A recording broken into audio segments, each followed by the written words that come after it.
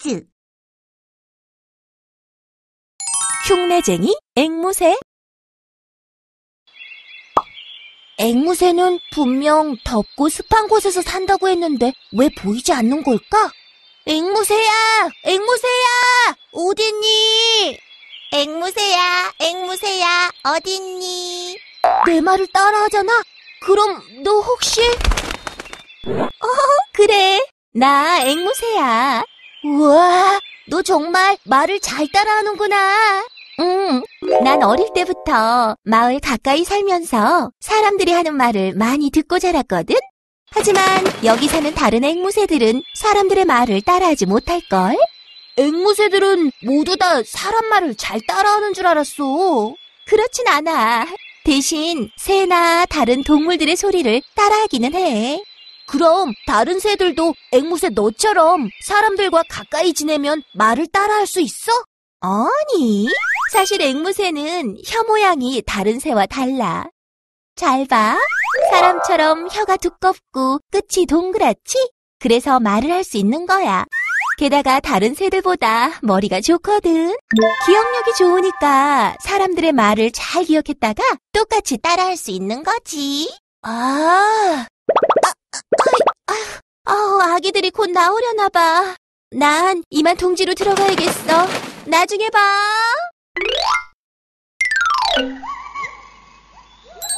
우와, 아기 앵무새들이잖아. 정말 귀엽다.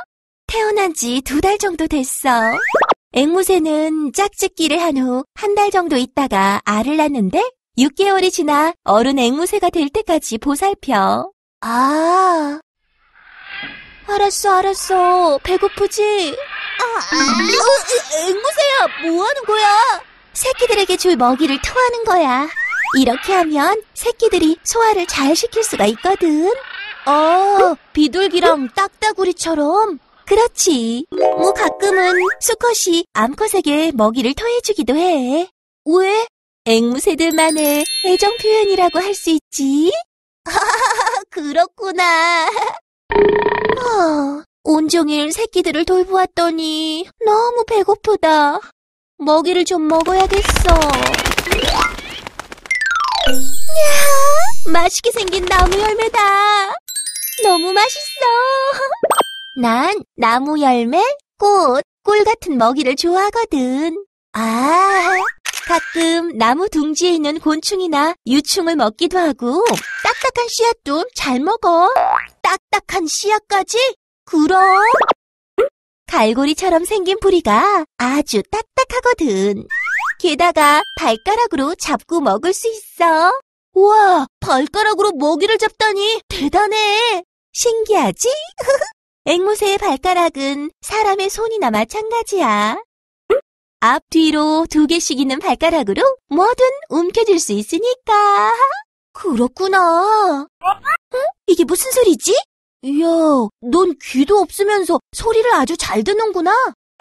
어허, 귀가 없다니. 깃털에 가려서 잘 보이진 않지만 희미한 소리도 잘 듣는 귀가 있다고. 아, 안녕, 안녕. 우와, 말을 하네? 저 새도 앵무새니? 아니, 쟤는 구관조야. 꼭 까마귀처럼 생겼지? 아, 구관조. 응, 사람들 말을 잘 흉내내긴 하지만 앵무새는 아니야. 앵무새 친구들을 소개해줄게. 왕관 앵무. 머리에 도가머리라고 하는 긴 털이 있는데 왕관처럼 생겨서 왕관 앵무라는 이름이 붙었어. 얘는 카카포.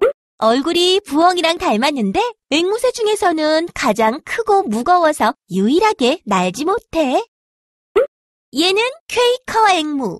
까치집 앵무라고도 불러. 앵무새 중에서 가장 멋진 집을 짓는 것으로 유명한데 새끼를 기르는 방, 침입자를 감시하는 방까지 만들어 사용한대. 얘는 회색 앵무. 꽁지만 붉은색이고 온몸이 회색인 앵무새야. 앵무새들이 모두 다 화려하게 생긴 건 아니지? 그러네. 어, 새끼들이 기다리겠는걸? 난 이만 둥지로 돌아가야겠어. 그럼 안녕. 안녕. 좋아요 꾹! 구독도 꾹꾹 눌러주세요.